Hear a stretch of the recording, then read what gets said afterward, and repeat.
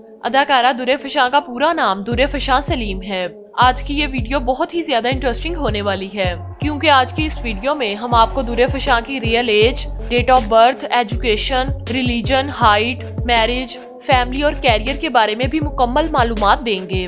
मजीद आगे बढ़ने से पहले अगर आप भी दुरे फशां के फ़ैन हैं तो वीडियो को लाइक ज़रूर करें। अदाकारा दुरे फशां पाकिस्तानी शोबिस इंडस्ट्री का एक उभरता हुआ नाम है। इनके चाहने वालों की तादाद में दिन ब दिन इजाफा होता जा रहा है। अदाकारा दुरे फशां तेरह जनवरी को लाहौर में पैदा हुई। इस वक्त इनकी उम्र 25 साल है। इनका मज़हब इस्लाम है। इनकी हाइट पाँच फुट आठ इंच है। अगर इनकी एजुकेशन की बात की जाए तो ये पेशे के एतबार से एक वकील हैं। इन्होंने यूसीएल से इंटरनेशनल डिग्री हासिल की। इसके साथ साथ इन्होंने बताया कि पिछले साल ही इन्होंने ग्रेजुएशन की डिग्री मुकम्मल की और कई इंटर्नशिप्स भी कर चुकी हैं। मगर ये हमेशा से ही एक एक्टर बनना चाहती थी।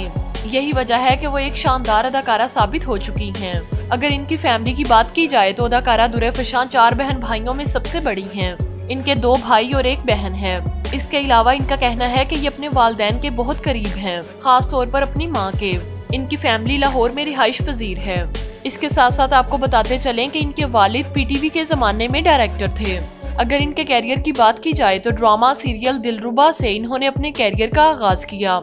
इसके बाद इनका दूसरा ड्रामा भड़ास है।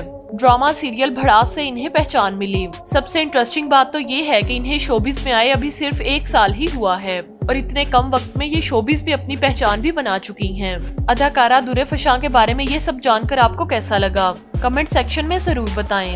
अगर वीडियो अच्छी लगे तो इसे लाइक करें, दोस्तों के साथ शेयर करें।